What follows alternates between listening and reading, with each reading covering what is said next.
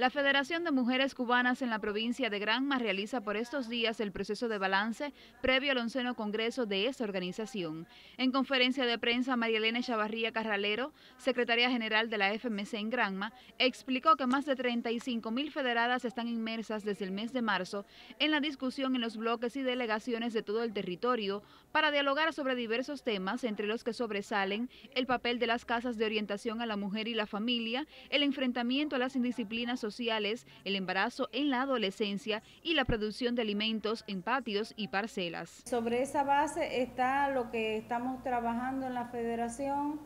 en el proceso de balance, es decir, eh, pidiéndole a nuestras mujeres que digan en estas asambleas lo que realmente quieren y necesitan de la Federación de Mujeres Cubanas como organización que las representa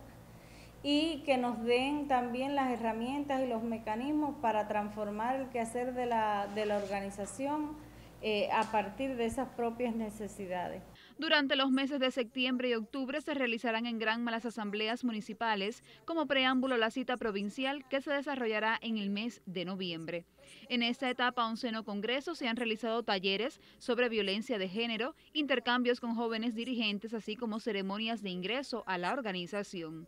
En la Asamblea Provincial quedará conformada la delegación de Gran Malacita Nacional, que estará compuesta por 24 delegadas granmenses y se realizará en el mes de marzo de 2024. Rocío Rosales del Río, Sistema Informativo de la Televisión en Granma.